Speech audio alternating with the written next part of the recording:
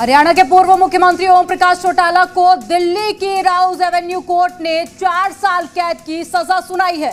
देखिए, Indian national लोक दल सुप्रीमो चौटाला को आय से अधिक संपत्ति के मामले में ये सजा सुनाई गई है। इस रिपोर्ट में आपको दिखाते हैं।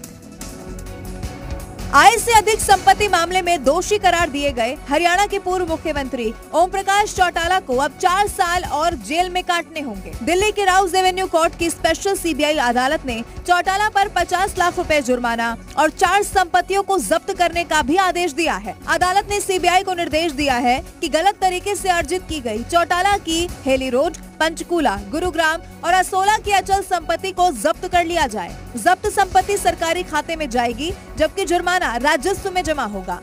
दरअसल ओम प्रकाश चौटाला ने 1999 से 2005 तक हरियाणा के सीएम के पद पर रहते हुए अकूत संपत्ति अर्जित की थी। चौटाला ने परिवार और अन्य लोगों की मिली भगत से आय के बहुत अधिक संपत्ति बनाई थी। जाँच में चौदह करोड़ रुपए की संपत्ति पाई गई।